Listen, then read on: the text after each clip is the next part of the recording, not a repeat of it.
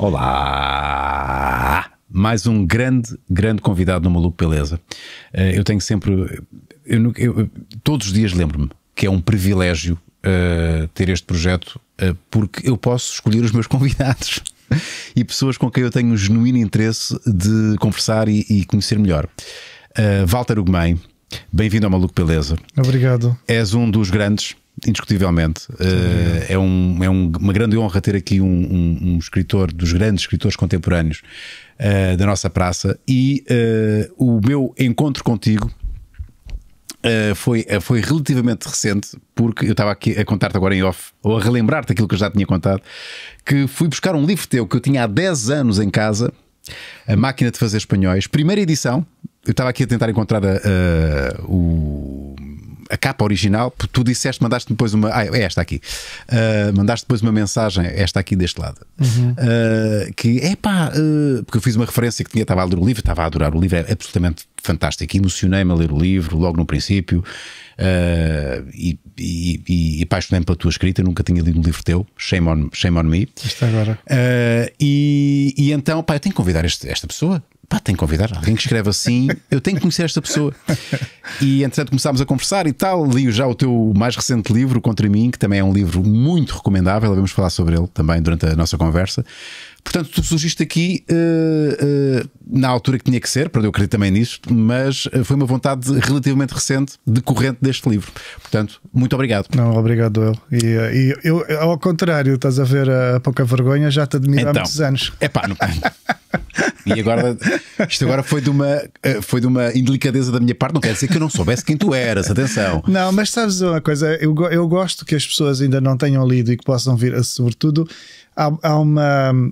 Os, os, livros não têm pressa, não é? Uh, nós podemos sentir nas nossas vidinhas, podemos sentir alguma urgência, mas essa, essa urgência no mundo da literatura não é muito aconselhável, não, não é prudente.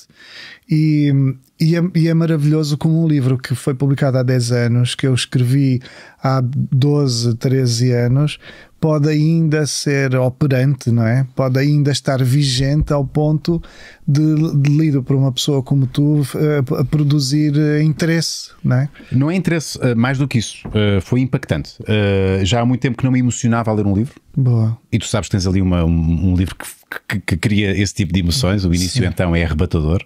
Não vou revelar. Uh, tem que ler. O livro ainda está à venda, não é? Uh, e, e, portanto, tu concordas, ainda bem que estamos em sintonia, os livros não têm pressa, não há, não há nenhum. O te, há, há, o tempo que tem que ser para ler os livros. É, uh, é. E, as, e, as, nossas vidas também, não é? Ah, nós não estamos sempre em tempo de ler um qualquer livro. Uhum. Uh, nós também vamos a um, a um ritmo que corresponde a uns livros e outros não, e, a, e outros não, e às vezes a livro nenhum. É? Há tempos, há, há, algum tempo em que não, eventualmente não, não lemos, não somos capazes de absorver, até porque se lêssemos talvez nada nos tocasse, nada nos diria a respeito. Por isso.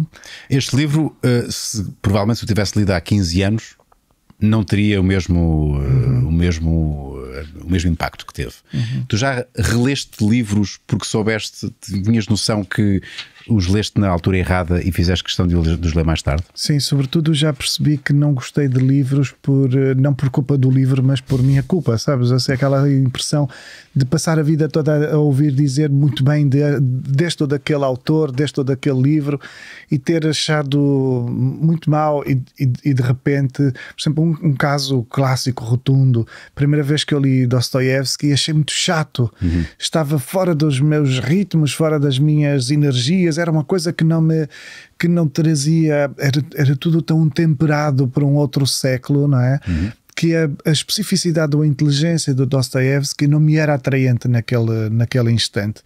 E claro, e lido mais tarde, depois de, depois de levar nas trombas de toda a gente, não é? De, dizendo que, enfim, o Dostoevsky não me, tinha, não me tinha interessado muito. É claro que lido mais tarde, a partir dos 30 anos, sobretudo, o Dostoevsky cai na minha cabeça como uma como uma maravilha profunda, não é?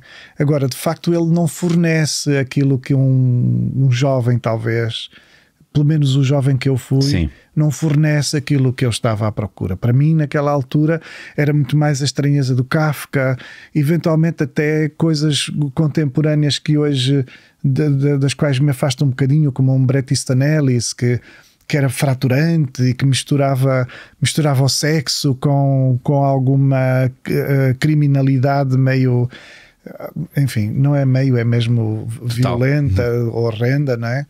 Mas essa frontalidade perante os, eh, os desejos e os horrores, aos 17, 18 anos, era-me mais uh, necessária, porque eu precisava de lidar com a minha própria uh, ansiedade, com a minha própria frustração, com, com o facto de achar que não iria a lado nenhum, por exemplo.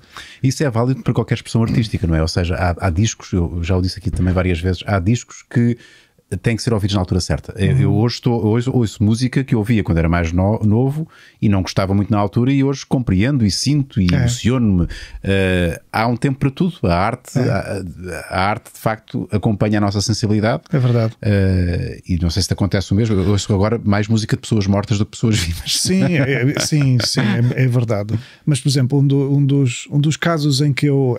Uma das vergonhas da minha vida é ter ido ver o primeiro concerto que eu fui ver do Nick Cave foi talvez em 91 ou assim, e fui de arrasto assim, não queria ver, não tinha interesse nenhum no Nick Cave, eu adorava coisas muito mais que a mim me pareciam muito mais uh, robustas, não é? Eu era muito, ainda sou dos Sonic Youth, uhum. e a partir dos Sonic Youth e, e alguns, uh, algumas áreas de um noise rock, e ouvia mesmo algum metal, Sepultura, mesmo Ratos de Porão. Ouvia, ouvia era, era assim uma espécie de metaleiro, embora tivesse sempre depois um pé numa espécie de gótico depressivo, os Dead Can Dance que eu amo até hoje, uns, uns Coto Twins, os Joy Division que eu, que eu fui, fui gostando devagar, mas o Nick Cave para mim era assim um chinfreineiro, sabes, àquela altura, era assim um chinfreineiro feio como as portas e eu pensava assim, não não quero, mas de repente, sem dinheiro, porque nós éramos uns tesos de facto, toda a gente ia, os meus amigos todos iam, toda a gente tinha entendido o Nick Cave, menos eu. Sim. E eu pensei, lá vou eu lixar três contos que era um dinheirão insuportável. Vou Uma lixar três vou contos para ouvir uma porcaria de um, de um Palerma. Pá, e de facto vejo o concerto e, e senti-me um imbecil. Como é que eu, que achava que era um erudito da, da dos pós-góticos, renegavas aquilo? Como é que eu não tinha percebido Sim. o Nick Cave? E hoje tenho a sensação de que alguns dos concertos mais impressionantes que eu vi foram do Nick Cave. E adoro, e acho inclusive, depois da morte de um, de um Bowie e depois da morte de um Leonard Cohen, acho que no espectro da música pop rock, acho que o Nick Cave é o grande lord do mundo, percebes? Uhum. Acho que não há nada não acontece nada, e, de, e desde logo depois do, do, dos Sonic terem acabado, não acontece nada na música rock pop que me fascine tanto quanto o Nick Cave. Por isso estás a ver o quanto nós precisamos de uma de uma maturação qualquer, não é? As coisas não são imediatas. Por exemplo, uma das minhas divas, também do mal, não é? Eu tenho assim uma, uma, uma panca com as, com as coisas lunares uma das minhas divas absoluta é a Diamanda Galas. Uhum. E a Diamanda Galas, a primeira vez que eu comprei, eu comprei um disco dela porque os Sonic Youth adoravam a Diamanda Galas. E por isso o Thust More disse que a tipo era incrível. E eu fui comprar um disco dela. E cheguei a casa e eu tinha ouvido um bocadinho na Tubitec na altura e achei a merda e cheguei e levei aquilo para casa, paguei pelo disco em, em, em honra aos Sonic Youth. Sim. E cheguei a casa, ouvi aquilo mais umas vezes e achei uma porcaria. E no dia seguinte fui à Tubitec trocar o disco e disse: Ah, desculpem lá, não estou para mas para este peditório não dá. É tipo, dá aqui uns gritos e, eu, e isto é um jazz. E eu na altura só queria rock puro e duro. Assim, eu não, não estou para aturar esta, esta, esta, esta senhora. senhora. Não dá, não é comigo. E quando fui à Tubitec com, com uma carinha de anjo, uh, porque trocar um disco não era assim sem menos, a gente tinha que fazer um, um peditório muito Daí o disco disse: Ah, não gostei, eh, não é. E o rapaz até disse: Pois não é muito a sua onda, porque não tem guitarras, não, não sei do que, não é assim muito rock, isto é assim um bocadinho mais blues, assim. Eu, pois, não gostei nada. A, a questão foi que o disco não estava dentro da, da caixa do CD, aquilo era um CD. E eu esqueci-me do CD no, no leitor, leitor em casa. E eu pensei, rasparta, eles ao segundo dia já não trocam discos. Aquilo ou é Perdeste trocas logo. Perdeste a janela de tempo. Fiquei ali e eu lá fui para casa, não é? Naquele dia e pensei, vou ouvir isto outra vez. E tu sabes que só por uh, a- aquela contingência, eu acho que em princípio já não vou ter coragem de ir lá trocar outra vez. Abriu-te o espírito. E, e é hoje uma das mulheres que mais me fascinam no mundo. Pá, eu uh, confesso aqui a minha ignorância. Disseste o nome Diamanda de Amanda Galas. Ga- Galas. Galas. Galas. Galas. Com Aqui temos. Oh, eis, eis a maravilhosa. Só de ver as fotografias se percebe que Há ela uma era. diva. Esta é uma que senhora. ela não é? era. eh, que é uma das mulheres da minha vida, obviamente. Sim, senhor. Olha, Poderosíssima. mulheres da tua vida poderosíssimas. É a única pergunta que eu tinha eh, aqui engatada para ti. Porque eu não sabia, mas alguém da minha equipa eh, forneceu-me esta informação, que o livro de Cristina Ferreira tem o teu prefácio. É verdade. Uh, sem nenhum juízo de valor, atenção, não estou aqui a fazer nenhum, mas como é que isto aconteceu? Uh, eu ainda não, eu não sei muito bem que é, qual é que é o teor do livro, tu saberás com certeza, porque fizeste Sim, ela, não- ela ainda não revelou exatamente. Uh, de cima, uh, de, de de puta para cima, é isso? De puta para cima? De puta para cima. Para cima. Portanto, conta com o prefácio de Walter Ugumem. É verdade. Uh, falam disso. Olha, a Cristina Ferreira faz o favor de ler os meus livros. Uhum. Há mais tempo que tu, estás a ver? Portanto, já tem um crédito que Por eu isso- jamais vou ter. Por isso, eh, coloquemos as coisas Sim. no lugar certo. A Cristina eh, gosta do que eu escrevo e em, e em alguns instantes coincidimos eh, em algumas coisas. Ela Mas já se cruzaram, foi? Sim, ela fez-me uma vez uma entrevista para a revista dela eh, e, e- e pronto. E ela tem sido sempre muito cordial comigo. A verdade é que este livro que vem aí da Cristina Ferreira é um livro que eu acredito que eh, para cima de puta, eu estava a dizer de puta para cima, É, não, para cima de puta. Hum, este livro é fundamental e eu espero que se saiba entender a importância deste livro. Porque as pessoas estão à espera que seja hum, uma história da vida dela, talvez até eventualmente a, a- a história que envolve esta passagem dela de uma estação de televisão para outra e não tem nada a ver. Eh, Este, este livro vem discutir um tema que, que é fulcral na, na atualidade e ela está na posição perfeita para servir de exemplo eh, e para servir de, levantamento desta questão. Eh, eu, eu diria que em Portugal ninguém, não há nenhum cidadão português que esteja na posição mais certa para levantar esta questão do que a Cristina Ferreira. É, bom, eu só posso imaginar que tem a ver com bullying, eh, ofensa eh, Como e tu estás a dizer, eu não, não vou negar. Sim, claro, claro. ok, ok. Estou muito curioso para, para, para, ver, para ler o prefácio e ver o conteúdo. Ela, ela, é, uma, ela é mestre na, na promoção e no marketing, ela vai promover isto muito bem, já o está a fazer, de resto. E é um livro que, a começar pela capa, pelo título, não é? Uhum. Eh, é, é, é já uma provocação para cima de puta. Presumo que tenha sido alguma coisa, que, algo que que lhe tenham chamado. Uhum. Isso que até foi a coisa mais, mais, mais, soft, simpática. mais simpática. Portanto, há aqui, há aqui, uma, há aqui uma, um convite que te foi endereçado, Uhum. mas decorrente já de uma amizade, de uma relação. Sim, eu creio que de- do facto dela ad- admirar o que eu escrevo e achar que eu poderia estar numa posição numa posição boa ou confortável para sabes, eu acho, eu quero muito que este livro, eu acho que seria muito importante que este livro fosse discutido em, no, no- em sede certa, digamos assim, que as pessoas que as pessoas uh, deem oportunidade ao livro de o livro exercer a sua, a sua importância, porque eu acho que de facto mais exposto que a Cristina Ferreira português, só o Cristiano Ronaldo. Mas o Cristiano Ronaldo, sendo contestado ou invejado, sobretudo invejado por muitos, não, não é sujeito a- ao insulto a que a Cristina está sujeita. E isso passará muito pelo facto de ser uma mulher, uma mulher com poder, uma mulher empoderando-se, uma mulher bonita, ah, porque a Cristina não tem, não tem nada que solicite uma piedadezinha por parte da- do cidadão comum, não é? Se fosse A menos as suas origens humildes, não é? Eventualmente.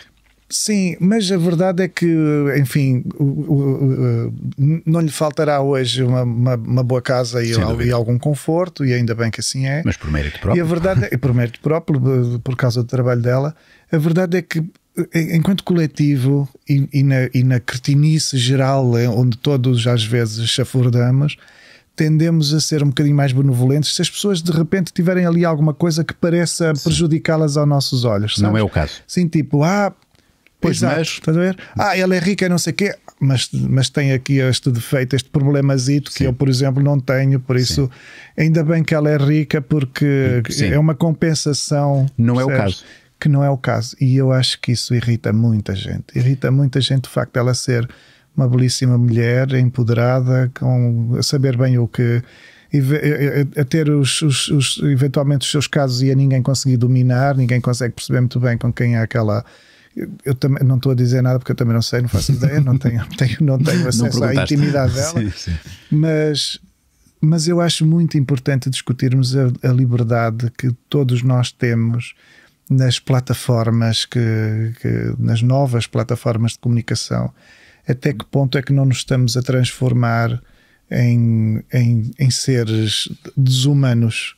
Hum. Uh, e, sobretudo, a achar que vamos sempre passar incólumes na, no, exercício, no exercício dessa desumanidade. Não, bom, a desumanidade sempre existiu, a maldicência sempre, sempre existiu. Agora é, é mais impune, não é? é, é, é e, é e, e, é requintada. E é requintada. Porque tu, numa conversa de café, dizes uma coisa assim, mas aquilo nem te enfim, todos nós, numa conversa entre amigos, podemos dizer assim uns impropérios sobre alguma figura que nem sequer conhecemos, com, com quem nunca nos cruzamos, e dizemos os impropérios, mas na verdade tanto os dizemos como já sabemos que aquilo não tem conteúdo, Sim. não é? Não nos interessa nada, não nos aquece nada. No instante seguinte estamos distraídos com outra coisa qualquer, aquilo não é um assunto na nossa vida. Quando isso passa para, para a internet e as pessoas na internet se, se, um, se expõem redigindo, dando a cara com os nomes, né? os perfis verdadeiros. Sim, né? é que não são, muitos deles não são falsos, são, não, são, pessoas, são pessoas reais. reais. Vais lá ver e é aquilo. uma senhora que, é, que trabalha no banco, é o, o senhor é. que é engenheiro, não sei onde. Exatamente, cujos filhos até são professores, Exato. até são educadores, até e no entanto sucumbem àquela maldade ao ponto de acharem, não, eu vou mesmo escrever isto, eu tenho mesmo o direito uhum. de insultar uhum. esta pessoa desta forma e algumas coisas são escabrosas, não é? é para lá do. Para lá de puta. É para lá, do, é para lá de puta, exatamente. É, muito para além de, de ser feio, é mesmo criminoso.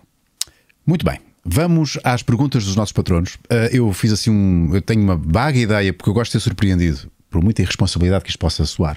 Uh, gosto de ser surpreendido pelas perguntas, eu tenho muita confiança nos patronos do Maluco Beleza. Uh, quero agradecer mais uma vez a todos aqueles que apoiam o nosso projeto, uh, independentemente do valor. há uma campanha que está em curso com 15% de desconto se tornarem patronos logo de um ano, por cerca de 10 euros. Apoiam já o Maluco Beleza por um ano, e vamos, convenhamos que uh, é um valor até bem, bem simpático para poderem fazer perguntas aos nossos convidados, para assistirem também a conteúdos uh, exclusivos.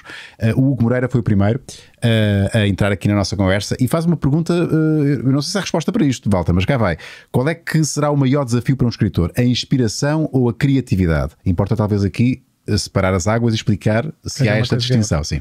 Bem, nós temos de responder porque estas pessoas são as pagantes. Exatamente. Isto tem de. Isto tem de existe por causa delas. Exatamente, isto tem de dar direito à resposta. Sim. Por isso, eu tenho a sensação de que a inspiração deixa de ser uma questão pelo facto de ela ser uma forma de vida. Ou seja, eu não acredito na inspiração como algo que nós possamos baixar, não é? Como uma coisa assim, um, um, um estado uh, induzido. Sim. Eu acho que aquilo a que normalmente se chama inspiração é, eu, eu, eu chamaria de uma inclinação natural para, sabes? Sim.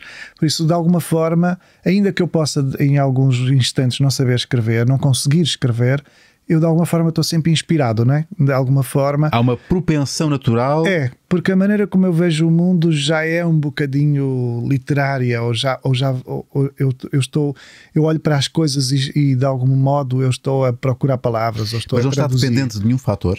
Agora, o que pode acontecer, a criatividade, não é? O que pode acontecer é que nós não estarmos capazes de ser criativos, não estamos capazes, inclusive, de criar nada, de fazer nada. Há uhum. alturas em que, gente, em que, pelo menos, eu me sinto profundamente analfabeto, por isso não consigo ler, escrever, não sei ler, não sei escrever, sabes? Sim. Não sei, é uma coisa que me transcende de tal maneira que eu fico fora do mistério, Sim. sabes? E pasmo, não é? Fico assim, caramba, estas folhas, estas páginas, os livros, não é?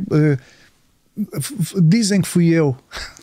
Tu próprio não acreditas que foste capaz de produzir aquilo, porque Como te é sentes que tão isto incapaz. é possível? É verdade. Apesar de estás inspirado, podes ter uma inspiração, mas falta Apesar capacidade de produzir. de estar constantemente nessa, nesse estado poético Sim.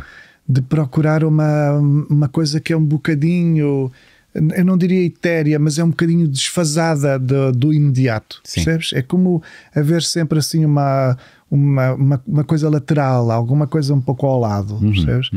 Eh, e por isso eu, ve- eu vejo assim um bocadinho as coisas desta forma. Então o teu maior desafio será uh, a criatividade, combater a falta de criatividade. eu não corro pela inspiração. A inspiração, se calhar, é uma, é uma condenação minha, é uma, Sim. forma de, é uma forma de ser. Por isso, o que eu corro às vezes é por me manter criativo, é por, por olhar para as coisas e pensar assim: já fiz isto, já alguém fez isto, o que é que eu posso fazer que possa parecer minimamente novo? Olha, mas eu vou pegar naquilo que disseste, porque uh, a inspiração pode ser um dom, não é? Um dom, uh, mas pode ser uma cruz também. Uh, quando dizes que estás condenado a estar inspirado, em que medida é que isso te traz dissabores ou mal-estar ou uh, Não é tanto de sabores, mas é assim uma esquisitice, sabes? Assim, eu não, não te sentes normal? o não, o não ser, o não ser como as outras pessoas, as outras pessoas estarem todas a divertirem-se num determinado momento e eu estou ali com umas palavrinhas como se estivesse encalacrado com.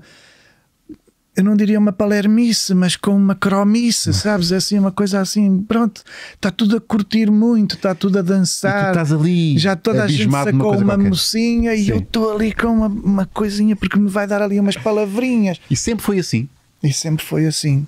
E, e já foi pior, porque, por exemplo, eu estou profundamente ajudado pelo advento do, do telefone inteligente. Sim.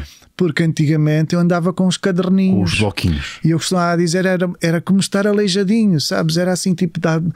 imagina, ainda por cima eu com um passado pós-gótico, punk, eh, rock and roll, em mega concertos ou às vezes no, em bares onde está toda a gente a fazer mosh e não sei o com quê. caderninho. E eu estava de- de viradinho para uma paradinha com um caderninho. Isso aconteceu a meio de concertos? Isso aconteceu em A meio, meio de um bar, numa noite de um bar? Posso-te dizer, por exemplo, que o Apocalipse dos Trabalhadores, o último capítulo foi integralmente escrito durante um concerto do José Gonzalez, que não é heavy metal e não sei o quê, mas, eh, Mas tu não estavas a ouvir a musiquinha na altura. não, não percebi nada.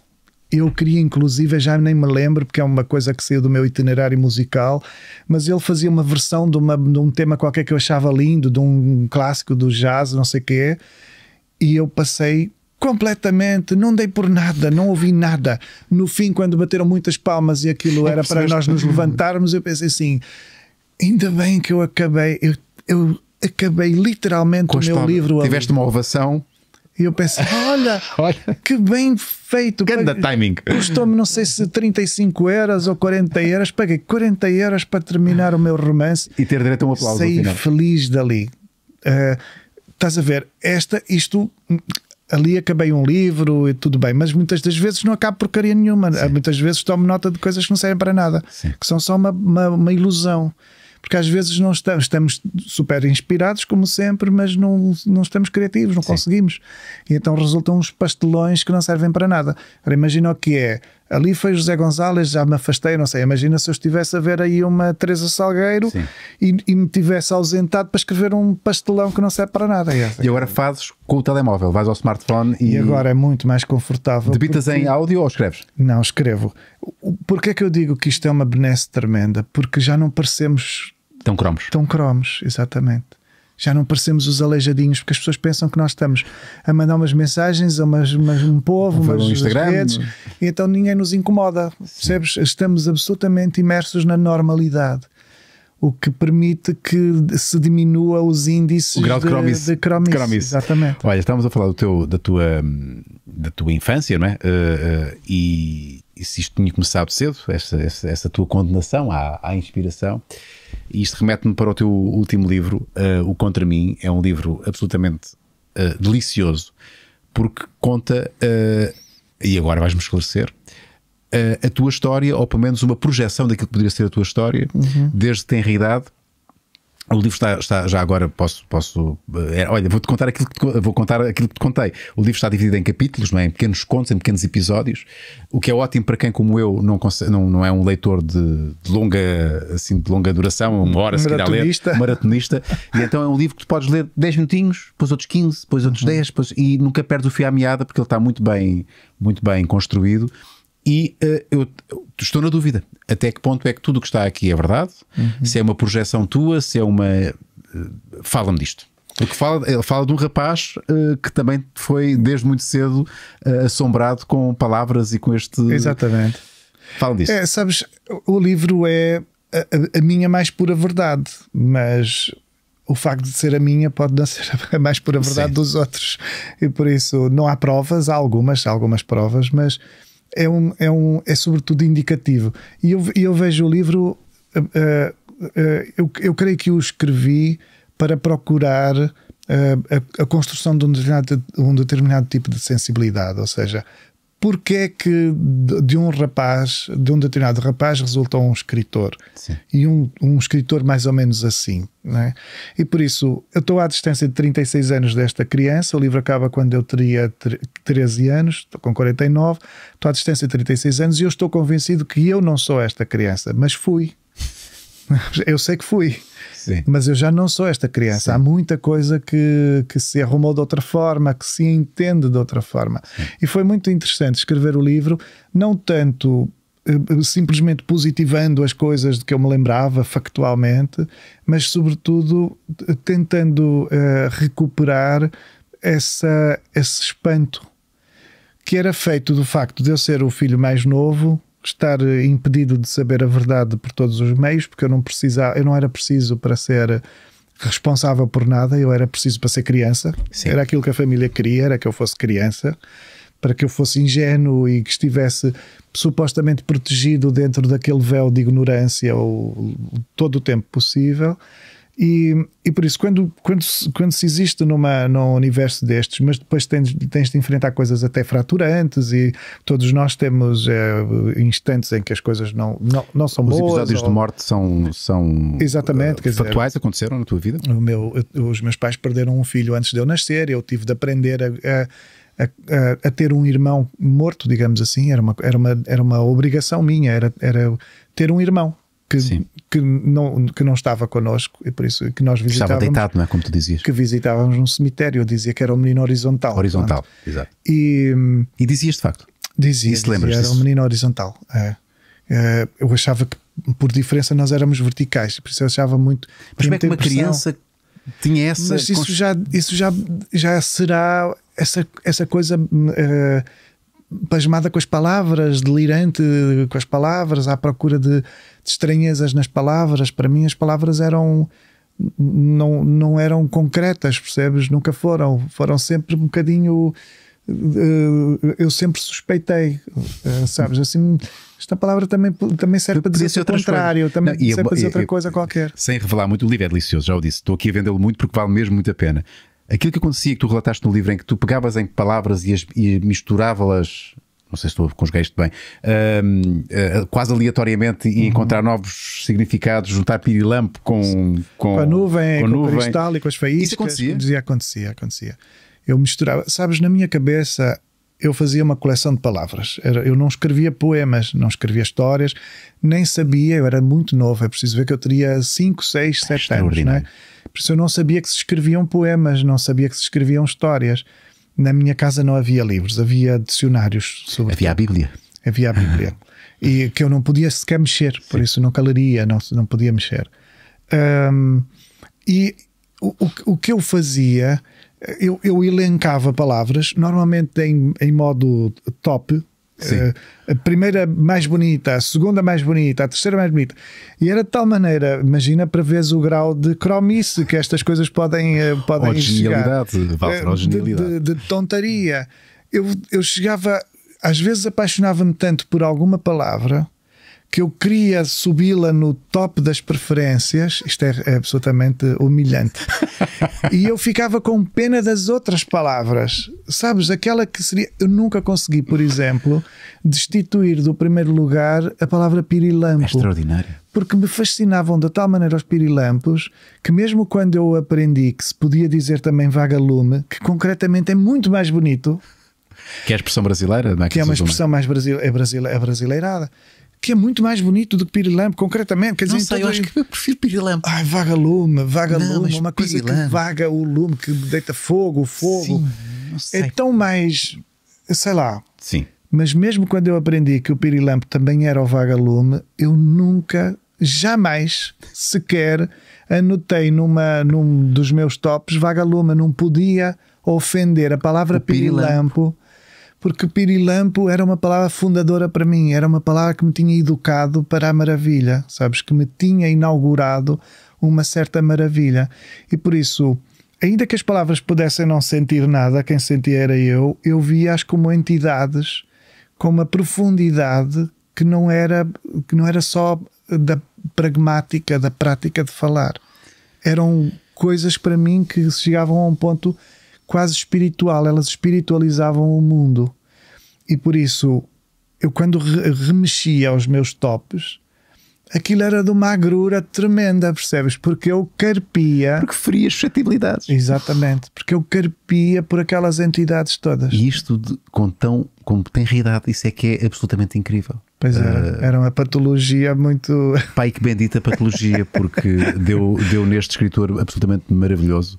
Uh, e, e pronto, está aqui hoje comigo à, nossa, à conversa comigo e com, e com os nossos patronos. Vamos a, a, aqui à próxima pergunta. Esta vem do I8C uh, e diz o seguinte: Boa noite a todos. Ao longo do, do, nosso percurso escolar, somos muitas vezes confrontados com a leitura de livros, uh, por exemplo, o Memorial do Convento, mas a grande maioria dos alunos procura sempre os chamados resumos. Na sua opinião, como se pode atrair mais pessoas à leitura e evitar estes facilitismos? Um bem-aja a todos.